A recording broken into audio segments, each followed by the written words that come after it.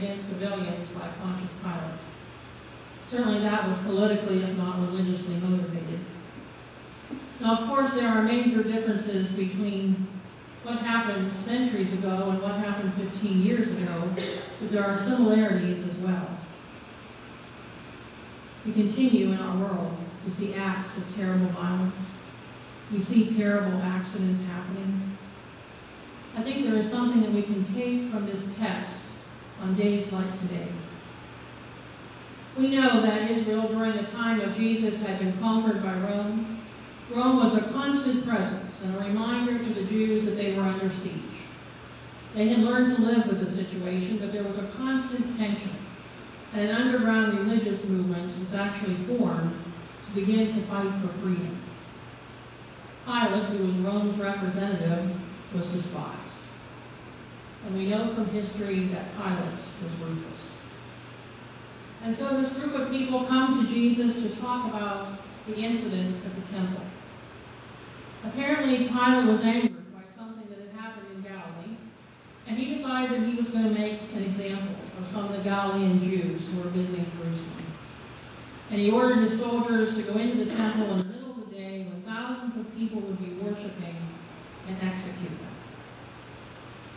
And it was done to send the Jews a message. If you don't keep your region under control, you will suffer the consequences of Rome's might. It was a strong reminder of what all the Jews had suffered under Rome. And we can certainly understand Israel's anger and their loss. Pilate had struck them at their most sacred place in the temple. It was the center of their life. It was a symbol of their identity, not unlike the World Trade Center and the Pentagon. Pilate left a persuasive message. Every time the Jews entered the temple, they were reminded about what had happened there. Every time they went into the temple to worship, they would remind, be reminded that even on the sacred soil of the temple, they were not necessarily safe. And isn't that true for us? We've been changed by September 11.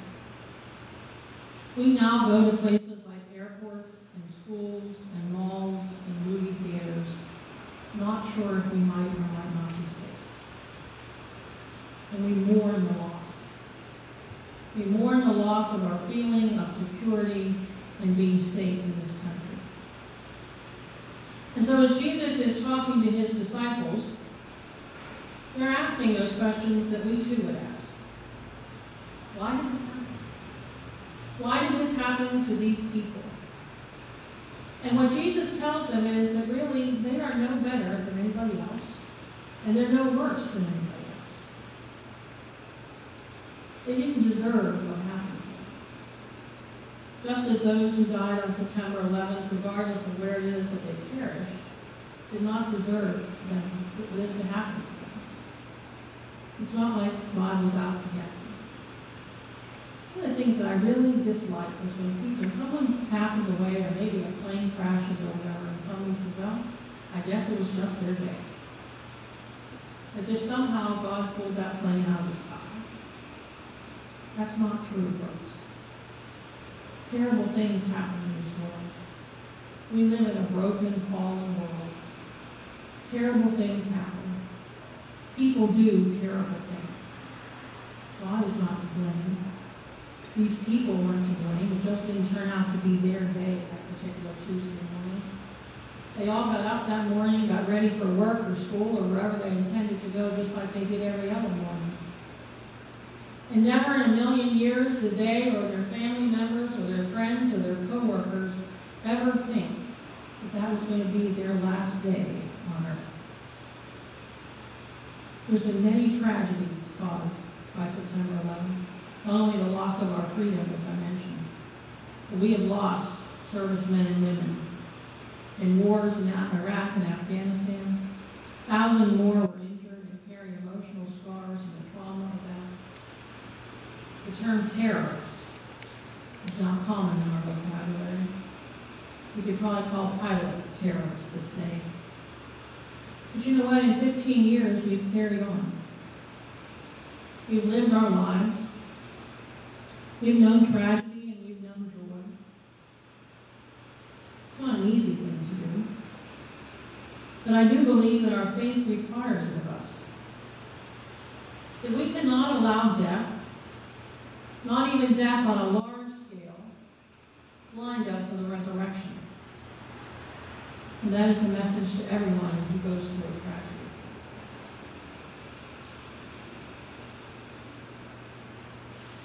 How do we figure all this out? How do we begin to make sense of not only what happened on September 11th, but what has happened in so many other tragedies since and will continue to happen, unfortunately, in the future?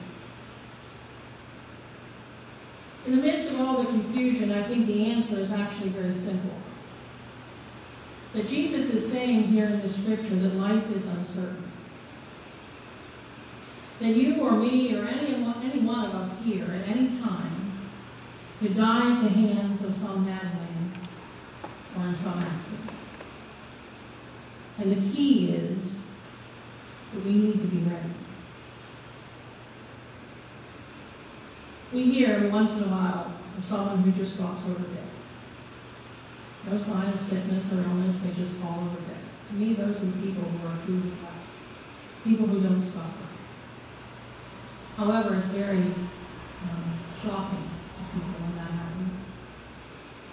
But it shouldn't be something that we fear. If we know that person or if we are sure that we ourselves are right with God. It's a horrible tragedy those people passed away in New York and Washington and Shanksville that day.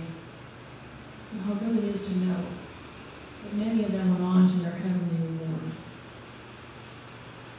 We need to know, we need to be sure that we are in a right relationship with God all the time. And that kind of ran true, especially for me this past Friday evening. Many of you met Ethan, my nephew, when he was here on uh, Sunday for on Friday evening, a um, band, a church band from a church in Washington, Pennsylvania, was traveling to West Virginia to do some mission work um, to the flooding victims there. A car came across the median, hit them head on, and three of them were killed. Two of them were teenagers who are classmates of Ethan. How do we begin to understand that? How do we begin to explain that to our children.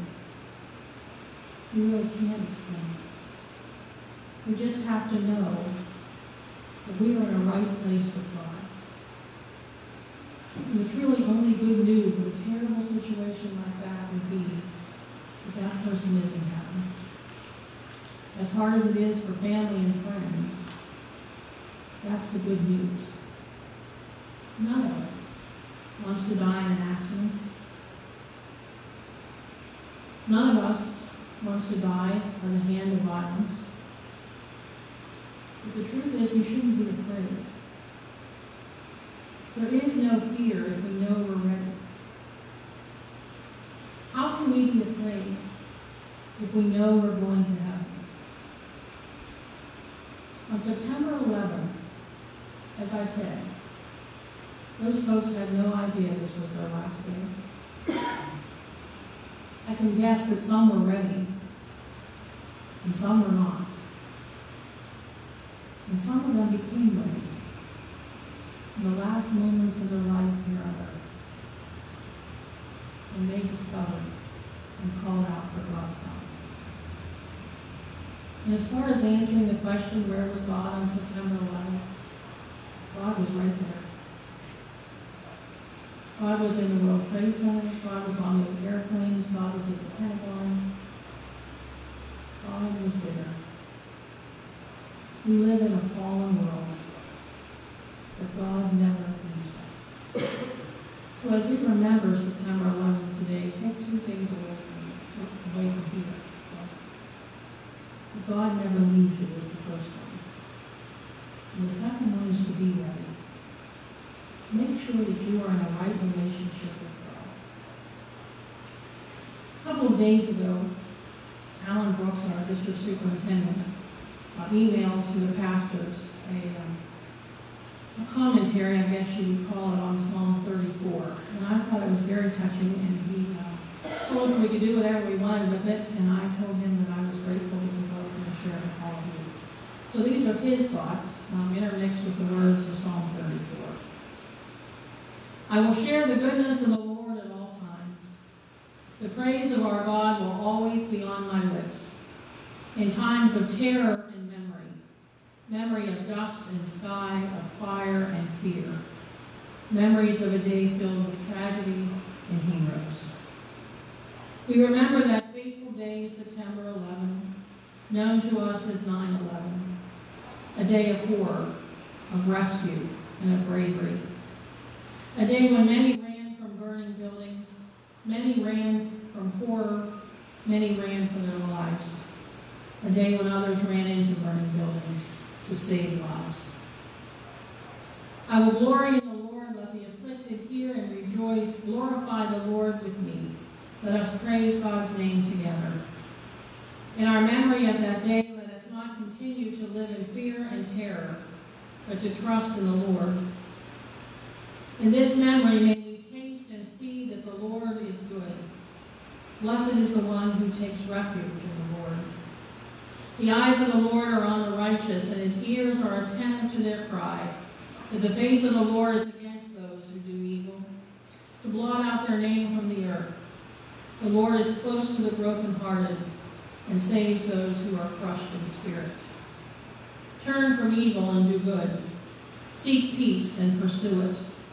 Bless all first responders and emergency personnel. Watch over those who rush in when all others flee. Come, O Lord, and rescue the rescuers. I will share the goodness of the Lord at all times. The praise of our God will always be on my lips. In times of terror and memory, memory of dust and sky, of fire and fear.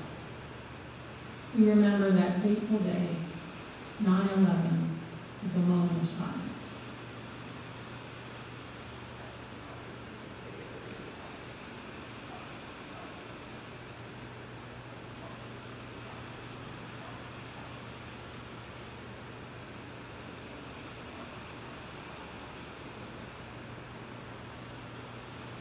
Thanks be to God.